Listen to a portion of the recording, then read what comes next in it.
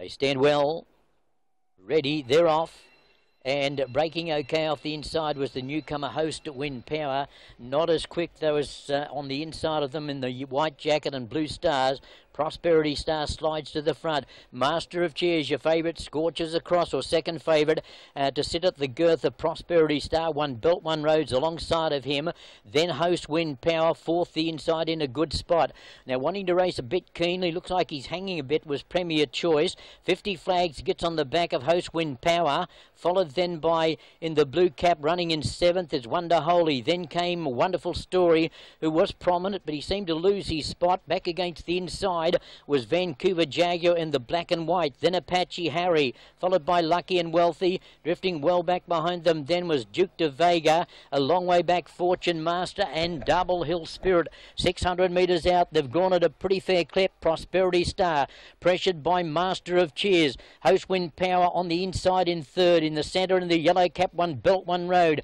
Premier Choice. 50 flags in the white cap. He's looking for space as they round the bend for home and over on the inside then was Vancouver Jaguar at the 200 metres and racing to the front now. Master of Cheers, Master of Cheers, Prosperity Star is giving plenty of cheek. Master of Cheers with a narrow lead from Prosperity Star. 50 flags runs on late. Master of Cheers, Prosperity Star comes back on the inside, head up, head down, and Master of Cheers has won by a short head from Prosperity Star with 50 flags third, just in advance of Vancouver Jaguar, and then Duke de Vega, Wonder Holy, followed then by One Belt, One Road. Wonderful story.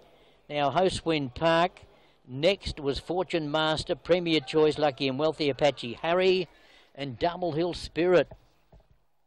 Great effort from that wide gate. I was worried about the wide gate with him, but uh, he's in good form again, this horse Master of Cheers, and he just kept fighting on tooth and nail. Prosperity Stars ran a cracker at uh, around about $550. He was friendless in the betting, but he's almost uh, caused an upset here. Prosperity Star, Master of Cheers, going to him. 50 flags. He found space and he started to wind up late in the centre and coming through on the inside Vancouver Jaguar, but the action was between these two and Prosperity Star, the inside.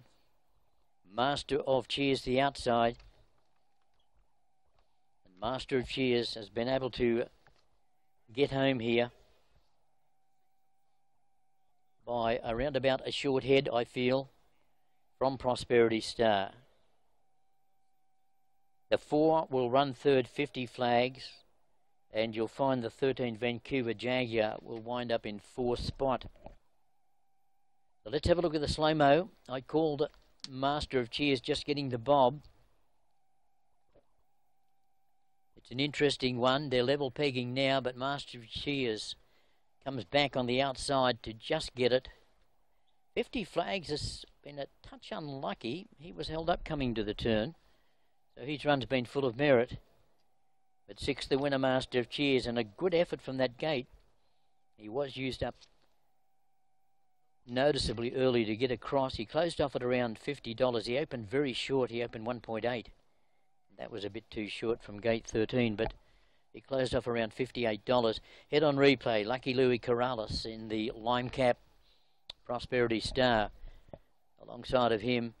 And they cleared out from the rest. The good run has been 50 flags, one away from the rail with Noonan, and another very good run in the race, Vancouver Jaguar, under Martin Wepner in the black and white colours. But Master of Cheers just a bit too strong and has gone home too well for them.